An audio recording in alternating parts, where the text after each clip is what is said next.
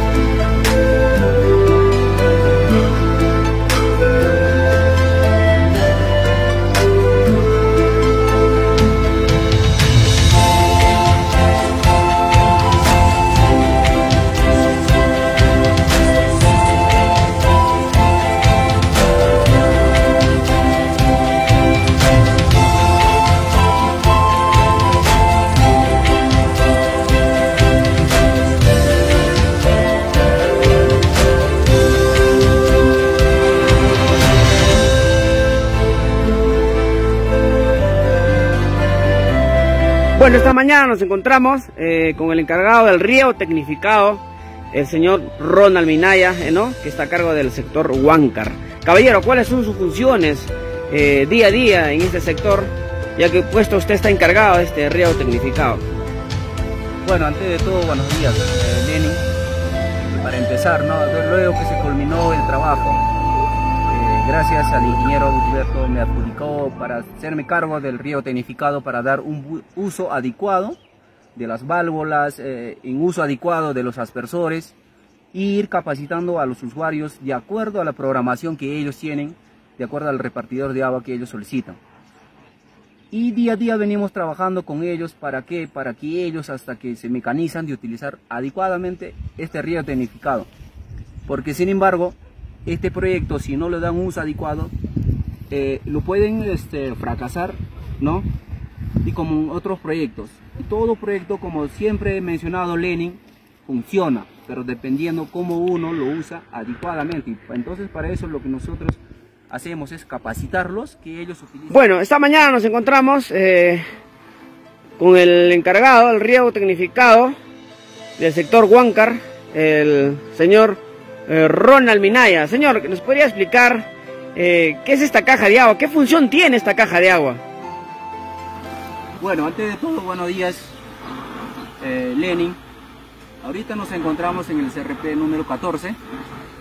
y su función de este CRP es, que nosotros le llamamos CRP porque es una cámara de rompepresión, ¿no? Que controla la presión. Entonces, ahorita vamos a este, detallar paso por paso cuáles son las funciones internas que tiene este CRP. Si me permite, se acerca la cámara, por favor. Okay, Vamos a abrir la tapa principal de la caja del CRP 14.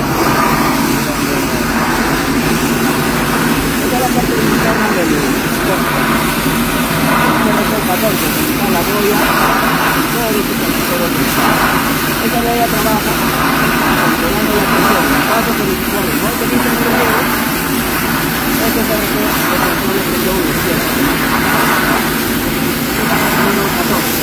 esta es acá, la tapa de aquí, es la que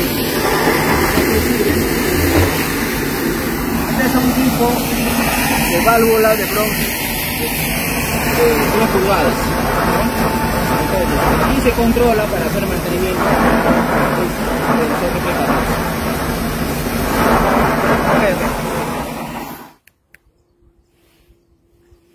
Lenin, ahorita nos encontramos en una de las parcelas donde contamos con una caja de válvulas de pulgada número 2, ¿no?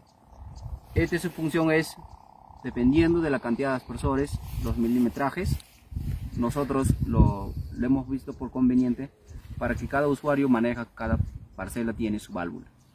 Ahora, lo siguiente es de que estas válvulas eh, se utiliza de manera graduada. ¿Qué quiere decir?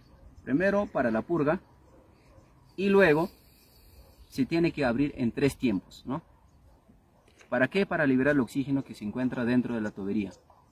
Ahora, si el usuario viene y abre de porrazo, quiere decir que lo está forzando, eh, uno, a los anillos del, del aspersor. Dos, el desgaste de los anillos de unión de hidrante y aspersor.